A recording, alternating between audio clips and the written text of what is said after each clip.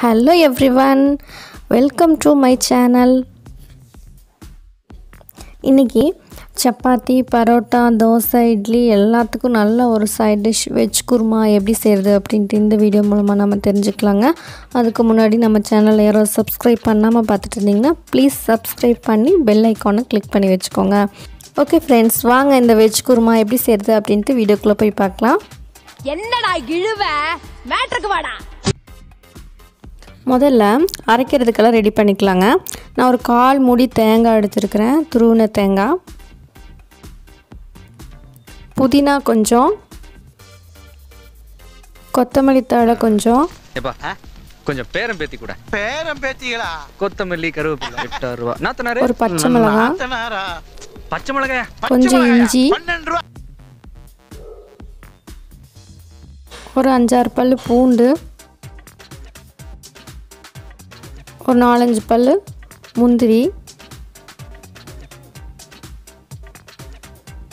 அது கூடவே ஒரு ரெண்டு துண்டு பட்டை. ஒரு மூணு கிராம்பு. ஒரு சின்ன ஏலக்காய். கூடவே ஒரு ஸ்பூன் போல் பொட்டுக்கடலை. இது எல்லாத்தையும் நல்லா நைஸ் பேஸ்ட்டாக அரைச்சி எடுத்துக்கலாங்க. ஒரு குக்கரில் தேவையான அளவு எண்ணெய் சேர்த்துருக்குறேங்க. எண்ணெய் காஞ்சதும் கடுகு ஜீரகம் ஒரு கால் ஸ்பூன் சோம்பு ஒரு கால் ஸ்பூன். ஜீரகம் சோம்பு வேணால் அரைக்கிறதுக்கு போட்டு அரைச்சி எடுத்துக்கலாங்க. நான் தாளிப்பில் சேர்த்துருக்குறேன். கூடவே ஒரு பெரிய வெங்காயம் பொடியாக கட் பண்ணி வச்சுருக்கிறேன். அதை சேர்த்துக்கிறேங்க. சேர்த்து சரி, நல்லா வதக்கி? விட்டுக்கலாம் வெங்காயத்தை. வெங்காயம் அழு வச்சிருந்தா ஆமா அது மாமியா தான் வெங்காயம் நல்லா வதங்கி வரட்டுங்க. வெங்காயம் கொஞ்சம் வதங்கிடுச்சு. இது கூட தக்காளி ஆட் பண்ணிக்கலாங்க. தக்காளி நல்லா சாஃப்ட் ஆகிற வரைக்கும் நல்லா வதக்கி விட்டுக்கலாம். தங்கத்துக்கு தங்கச்சி? அது யாரு? தக்காளி. தக்காளியா? ஏழாயிரம் ரூபா. கூடவே தேவையான அளவு உப்பு சேர்த்துக்கலாங்க குழம்புக்கு தேவையான அளவு. ஒரு அரை ஸ்பூன் மஞ்சள்தூள் உப்பு கொஞ்சம் ஜாஸ்தியா இருக்கும் போல் இருக்கு. டேஸ்ட் பண்ணாமலே தெரியுதா? இந்த பிரெயின் எதுக்கு இருக்கு? தக்காளி கொஞ்சம் சாஃப்ட் ஆயிடுச்சுங்க காயெல்லாம் சேர்த்துக்கலாம். நான் ஒரு கப் பீன்ஸு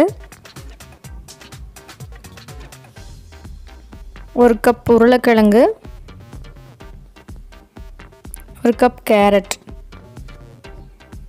எல்லாத்தையும் நல்லா வதக்கி விட்டுக்கலாங்க. சரி தங்க என்ன விலை? தங்கம்மா. அதான் அவன் கடையில கேரட் தங்க விலையில விக்குது. அது எட்டு ரூபா.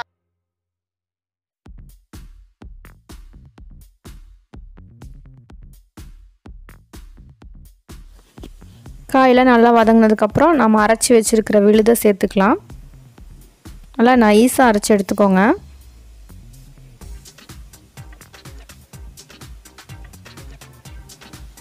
இது கூடவே ஒரு ஒன்றரை ஸ்பூன் போல் கொத்தமல்லி தூள் சேர்த்துக்கலாங்க.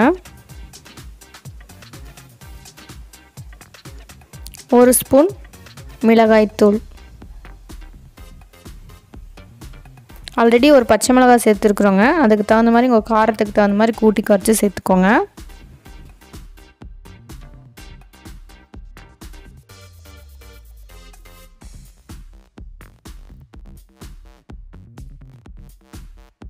ஆஹா வாசனை தூக்கு தூக்கு தூக்குதே. யோசனை பண்ணாமல் உட்காந்துட வேண்டியதா?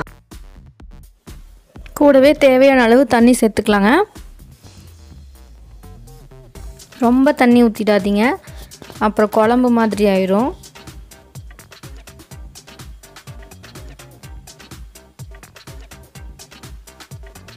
ரொம்ப கெட்டியாக இருக்குதுங்க. இன்னும் கொஞ்சம் தண்ணி சேர்த்துக்கிறேன்.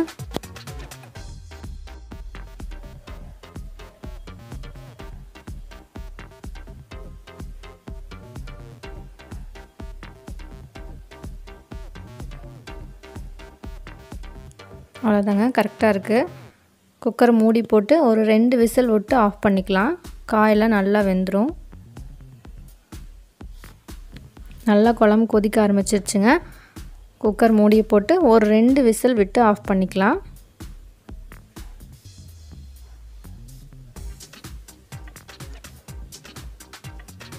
நல்லா ரெண்டு விசில் வந்துடுச்சுங்க நம்ம ஓப்பன் பண்ணி பார்க்கலாம்.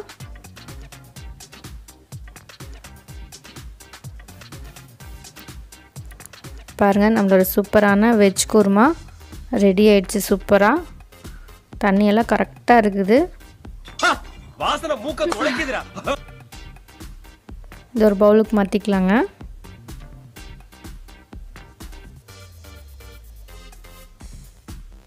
பாருங்கள் இன்றைக்கி ஒரு சூப்பரான வெஜிடபிள் குருமா சப்பாத்தி புரோட்டா தோசை பூரி எல்லாத்துக்குமே தொட்டு சாப்பிட்ற மாதிரியான ஒரு சூப்பரான வெஜிடபிள் குருமா எப்படி செய்கிறது அப்படின்ட்டு இந்த வீடியோ மூலமாக நம்ம தெரிஞ்சுக்கிட்டோம். இதே மாதிரி நீங்களும் உங்கள் வீட்டில் ட்ரை பண்ணி பாருங்கள் கண்டிப்பாக நல்லா வரும். இந்த வீடியோ உங்களுக்கு பிடிச்சிருந்தா ஒரு லைக் போட்டு விடுங்க. மறக்காமல் கமெண்ட் பண்ணுங்கள் இந்த வீடியோ எப்படி இருந்துச்சு? நல்லா இருக்கா? இல்லையா? உங்களுக்கு ஏதாவது டிஸ்டர்பன்ஸாக இருக்கா? காமெடிஸ் எல்லாம் வரும்போது அப்படின்னு என்கிட்ட ஏதாவது ஷேர் பண்ணிட்டீங்கன்னா தான் அடுத்தடுத்த வீடியோ என்னால் வந்து பெஸ்ட்டாக கொண்டு வர முடியும். ஓகே ஃப்ரெண்ட்ஸ் இதே மாதிரியான ஒரு சூப்பரான ரெசிபியோட அடுத்த வீடியோவில் பார்க்கலாங்க. okay thank you so much for watching.